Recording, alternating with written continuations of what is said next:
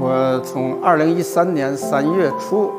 到了这个信都区西部山区支教工作，呃，在这个三所小学、两所中学前后共招了十五批次小提琴生，二百名左右，就是参加了四级到十级的考级啊。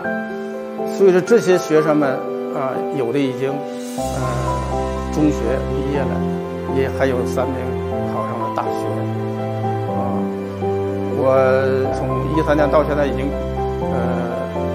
执教已经是九年多啊，九年零五个月吧。